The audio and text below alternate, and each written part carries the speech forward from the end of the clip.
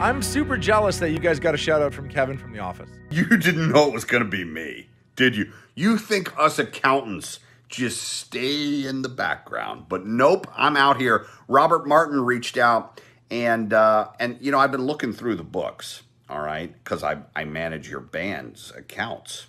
You're, I'm it's called an accountant. I don't know if you've heard of it. Uh, and I realized, yep, you've done it. You have hit 75 shows. James Barker, that is huge. That's what she said. I, I don't know how you managed to do that. I, re- I, I saw the first show and I was like, oh, uh-oh, I won't have to work very hard. But it turns out I was wrong. Congratulations. Um, and you know, since you're since you're actually booking shows, if you ever need a drummer, just just give me a call, all right? Cuz I'm free literally forever. Are you guys using Cameo for that, or what is that? Yeah, we're just legit going on Cameo. It's like the best thing that was ever invented. You guys need to get on. Are you guys on Cameo so we can get a shout out from you?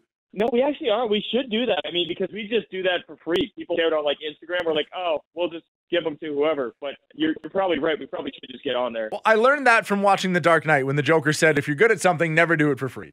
Oh yeah, you're right. Um, well, there you there you go. Should take advice from the Joker. My, Look what o- happened to him. my only life advice ever comes from watching television and movies. What does that say about me? I'm basically well, I Abed mean, from Community. It's, it's totally real. So um, what what would have been better is if Kevin had a pot of chili. If he spilled a pot of chili in your video, I would have just died. I wonder how much you would have to pay him to do that. 'cause I he gets that request so often. um, why did you guys decide to end the live streams? it just became one of those things where you could you could tell we were getting like you know kind of varying viewers you know on different nights. And I was like you know what? The summer weather's here and people want to be outside they they want to kind of go and do their own thing. They don't want to have to be stuck inside. And so we thought you know let's let's kind of call it here. We've had an amazing run and that's not to say that we can't do you know do them every couple weeks or something but the consecutive thing I feel like it was just good to to call it. And plus it was like a, a big commitment every day Yeah, you guys run uh, like at least an hour every day, right? Yeah, it was a it was an hour every day, and I think I ended up doing like 420 something songs. That's in. Did you ever repeat a song or never? A, a couple times where I repeated them because people would like really request them, especially like our tunes. Um, Which is good. but, but for the most part, was was learning like yeah yeah exactly. But but for the most part, just uh, learning like would spend the hour before cramming trying to learn new songs. Was there any? Was there any you did, and you're like, this is actually kind of cool. I'd like to bring this into the live show when we get to do that again. Yeah, there was a few of those. I mean, because I I started doing a thing on Sundays where I did all songs from the '70s, so like psychedelic Sunday, and uh, I did we did "Come Together" by the Beatles, and it was so cool, like broken down. I was like, that would be such a cool song to add to the show. So, That would be unreal. So when we see you in Calgary next, we'll we'll be expecting the Beatles come together. Yeah, I would I would highly highly expect that. If it's not that, it'll be Britney Spears "Toxic," and I'm good with both. And the and, and you know what? That might be better anyway. Bobby didn't show off his dance moves. hey, speaking of Bobby, I was going to ask what you've been busy doing during quarantine besides these live shows, because all he's been doing is working out and getting shredded, and it terrifies me. Yeah, it is terrifying. Well, I, I mean, I was trying to do the home workout thing too, and then Bobby clearly has a been working out like crazy, and b not been eating his carbs, and so uh, I. I don't I don't know what he's what he's doing, but uh, he definitely beat the rest of us on the athletic front. Does this mean when you guys get back out on the road, he doesn't have to wear a shirt on stage? That's like a requirement now that he's just shirtless all the time? Oh man, don't even tell him that because that that'll be the first thing he like. He'll be like all over that if you say that. So I think what we're gonna have to do is we're just gonna have to force feed him like a hundred beers in the first two weeks, so he like he gets back to our our body state. You need to get him on everybody else's level. Get that beer gut back just a little bit so the rest of you don't feel so much shame. What what have you been? What has been sort of your quarantine kick? What, obviously, you tried the workout; it wasn't really for you. Did you turn to baking? Did you turn to reading? What what was your thing that got, kind of got you through it besides the live shows? I mean, it, it's been weird because it's been so long now. At first, we really got into like my wife and I were baking bread and and doing that whole thing, and uh, still doing the fitness. Actually, trying to work and go for a run every day just to keep some sort of mobility. Um, but it's it's actually been really good. I feel like f- for myself and most musicians, you just get so much time to practice and and write and do all that stuff at home. So it's actually been a really good time to kind of double down on the music stuff. So you tried to bake a couple banana breads, realized it wasn't for you, and just switched off. It's just when we try to do like the real bread, like in oven thing, and it's like it's such a time-consuming process just making the dough that you screw it up in the oven, and it's like a whole day to fix it, and it's like this is not worth it for like the two dollars for a loaf of bread. And So- I'm not I'm not enjoying it enough during the process or eating it for me to spend two days doing this thing. No, exactly. Go to the grocery store and buy it. And if you want to buy the like fancy primo stuff, do that. You won't even know the difference. Um, did you guys write this new song during quarantine together, or was this something that you had planned for a while now? No, this was actually one that was written probably almost a year ago. Um, and it's crazy because we kind of had all the production and the majority of it done um, right when COVID hit, um, which was which was good because it's very obviously the doing the logistics right now is difficult. Um, so uh, it was one we've been holding on to for a little bit though. I got to tell you, this this song because it's super sunny, it feels so perfect for a day when you're just cruising around, windows down, and just having like the best time with your friends. It it's just screams everything I love about this time of year. Yeah, 100%. And we we kind of had the debate too because we're like, you know, summer 2020 is going to be uh, the most unique summer yet. It's like we don't know what the restrictions are and all that stuff. And uh, we're like, should we be releasing a summer song right now? And we kind of came to the verdict that people need that kind of positive vibe right now. People need some some sunny, happy happy music in their life. And so we're like, this is actually the perfect song right now to cheer people up. So When you think of summers growing up as a kid, what's the one thing you love doing most? What's the one memory that always floods back? I used to love. We used to have like we used to rent a uh, we used to rent a cottage that was like only like 20 minutes from where we at the sale barn because we always had to go back and move cows and stuff.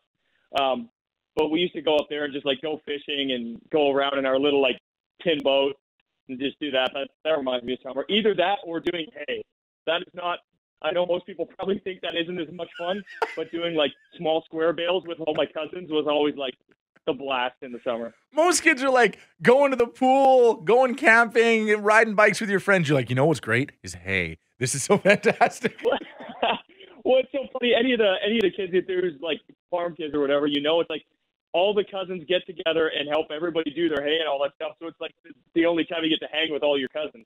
So That is so good. So, what uh, when we're listening to this song, what do you love most about it? Is it just the summer feel of it? Is there a certain lyric that you connect to most? uh, I think it I think it is just that summer lyric. When we wrote it, we we thought it was a cool play on words to do summertime, like it's a different time zone almost. And uh, so I think just that we really tried to encapsulate that chill vibe that you get in summer, how things kind of slow down and the days drag out. Um, and so I think that's probably my favorite thing. But I really love the production on it too. We took a long time to make sure that that we had a progressive but still sounded like JBB production, which is always really weird when you're trying to release a first song off a project. So, are you good with that though when it comes to, you know, quote unquote summertime when things slow down and there's no real you have to be here and you can be late for things or are you more you like to be scheduled? I, I actually kind of like it. I mean, when it comes to like actually work stuff, I, I really need a schedule because if I don't have a schedule, it's like everything goes out the window. But it's uh, I do love the idea of like just going in like a cottage or hanging by the pool and not even like thinking about it. Just you don't know if it's been an hour or ten hours. That's uh, those are the days you remember forever. Especially when you're doing hay with the cousins. Has it been an hour or 10? How long have we been out here? Oh God, yeah. How's the sun still up? um, I want to bring you into the show a little bit. Uh, we're, we've been talking a little bit about uh, uh, how you hurt yourself on a playground. You ever hurt yourself playing on the playground? yeah, I I stuck my tongue to I stuck my tongue to a frozen pole once. That is so Canadian. Yeah. What? Gr- How old were you Oh, in? Were you dared, or did you see it in a movie, or what happened? Uh, it, no, it was just it wasn't even in a movie. I think I was talking to one of my buddies, and he said apparently you can't stick your tongue to a post and pull it away. I guess it was technically a dare because it wasn't a dare to do it. It was a bet that you can't do it and not get stuck. And so I was in grade three, I think, and I lost obviously the bet. So, how long were you stuck there, and how painful was it to rip it off? It well, so I was stuck there probably for like three minutes. It was at recess, and so then obviously the I'm sure every grade three teacher is probably like, "Why did you do this?" every time a kid does it, Um, because they probably see it every year. But the teacher brought over like hot water and like was able to like pour hot water and warm up the post enough that it didn't like rip too bad. It just took like a little chunk off. But was there a while where you couldn't taste food right, or things were sensitive and, and, and things like that? I feel like it still hasn't recovered. I There you feel go. like those taste buds are just I've written them off since I was in grade three. What do you mean that's salty? I don't I don't taste I haven't tasted salt in 20 years. you salt and vinegar. There's salt in these? What are you talking about?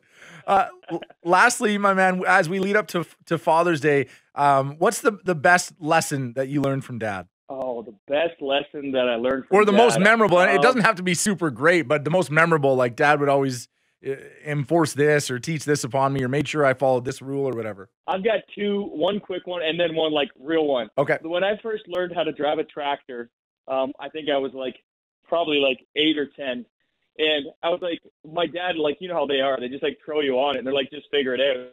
So like, what do I do? And like, whatever you do, just don't ride the clutch. I was like, what? What does that even mean? Like, That- I don't know what the clutch is. Even, yeah. So that was that was the funniest advice because I remember not having any idea. But as a kid, you're like, okay, well, I guess I just won't ask again, so I don't look stupid I'll just figure it out when I'm in there. His, his best advice for like running a company or management was you need to make sure everybody in a company thinks that they're the reason that it works, but not the only reason that it works. Oh, that's smart. Yeah. So that's uh, some some deep stuff for. So you're you saying. I'm not the only reason Country 105 works? Is that what you're trying to get across to me? Well, I don't, I don't want. I didn't say that. I mean, there's unique situations, of course. I always appreciate our conversations. I can't wait to hang out with you boys again in person when we can finally do that. And uh, send my best to the boys when you talk to them, okay? Absolutely. Stay safe, buddy.